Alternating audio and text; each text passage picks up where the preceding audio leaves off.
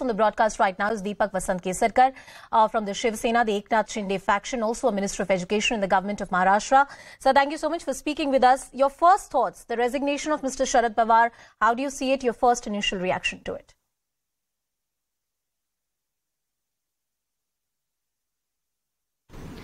Uh, he is a very senior uh, leader of Maharashtra. So he must have taken the decision after giving it a proper thought. And uh, he is always very firm about his decisions. So now I think the uh, the committee has to take a decision what is to be done further. Sir uh, Mahavikas Aghadi और आपके राजनीतिक प्रतिद्वंदी हैं लेकिन उनकी पूरी एकता पर भी कई सवाल उठ गए हैं शरद पवार के इस तरह से एनसीपी सुप्रीमो से के पद से इस्तीफा देने के बाद क्या युति को बचाने की जो कोशिशें रही हैं, क्या ये सफल रहेंगी या किसी ना किसी तरीके की अपॉर्चुनिटी है इसमें? बीजेपी के लिए या आपके फैक्शन के लिए?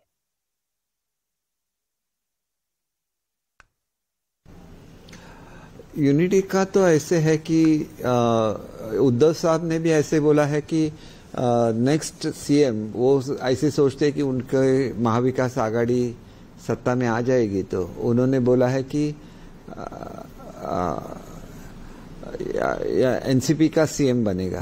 तो इसका मतलब साफ़ है कि वो उनको मनाने की कोशिश कर रहे हैं लेकिन वो कहाँ तक सफल होंगे मुझे मैं बोल नहीं सकता। सर, अजीत पवार के बारे में बात करना चाहूँगी आपसे। बहुत सारे कयास लगाए जा रहे थे कि अजीत पवार जो हैं, वो बीजेपी के साथ आ सकते हैं, आपके साथ हाथ मिला सकते हैं, सरकार में शामिल हो सकते हैं किसी न किसी तरीके से।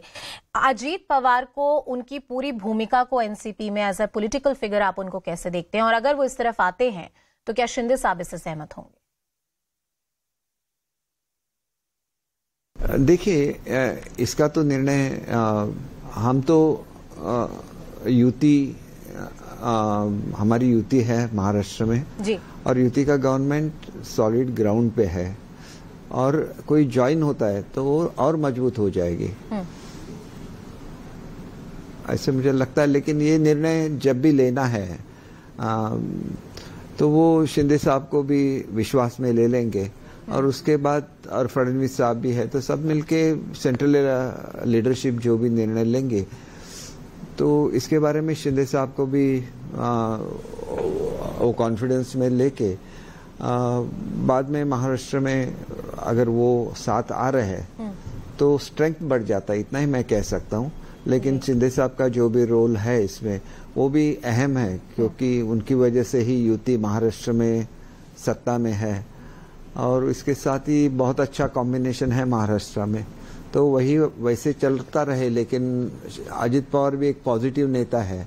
और जिस तरह से महाविकास आघाड़ी निगेटिव रोल रह रही है about development of Maharashtra regarding various industries तो इसके बारे में भी उन्होंने कल स्टेटमेंट निकाला है कि इंडस्ट्रीज़ आनी चाहिए युवकों को रोज़गार मिलना चाहिए।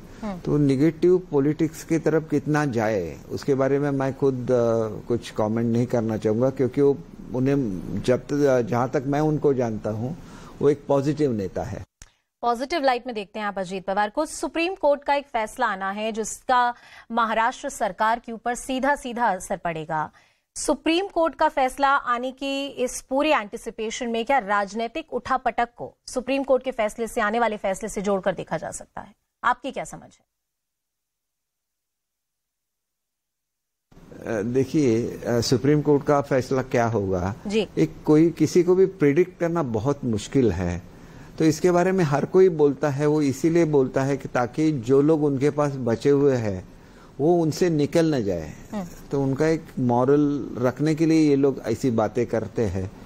लेकिन जो भी निर्णय होगा आ, हमेशा ऐसे होता है कि महाराष्ट्र में ये सब प्री मैच्योर है क्योंकि कोर्ट का जब प्रोसीडिंग चल रहा था तो भी उन्होंने बोला था कि संसदीय लोकशाही की जो प्रक्रिया है उसमें वो ज़्यादा दखल नहीं लेना चाहते। इसलिए वो क्या अल्टीमेट फैसला क्या लेते हैं? वो तो हाईएस्ट अथॉरिटी है। तो उसके बारे में मैं तो कुछ कमेंट नहीं करना चाहूँगा।